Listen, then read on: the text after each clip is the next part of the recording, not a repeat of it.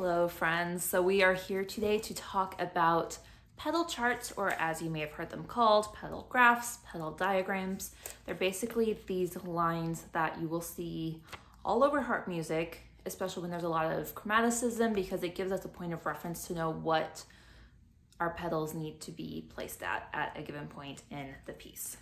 So, when you see the pedals, um, the line down the middle is just kind of where the harpist is sitting at the harp. So you'll have three pedals on the left side of the harp and then four pedals on the right side. You could come up with a mnemonic to remember which pedal is which, but the easiest way to think about it, your two inner pedals are your first two flats.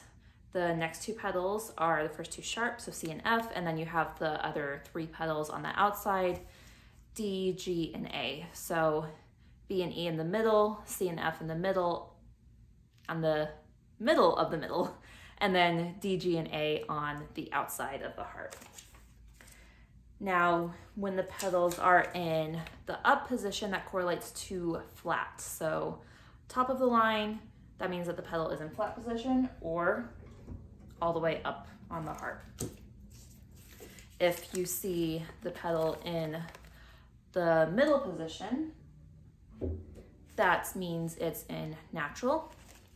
And then when the pedal is down below the line, you're in sharp position. So this gives you a really handy clue to help you know what the pedals are at and to keep track of the pedals. So when you are writing for the harp, it's a good idea to know what the pedals are doing, what position is in, because then that tells you if you need pedal changes. So this is your little mini lesson on pedal charts, or if you call them something different, it all refers to the same thing.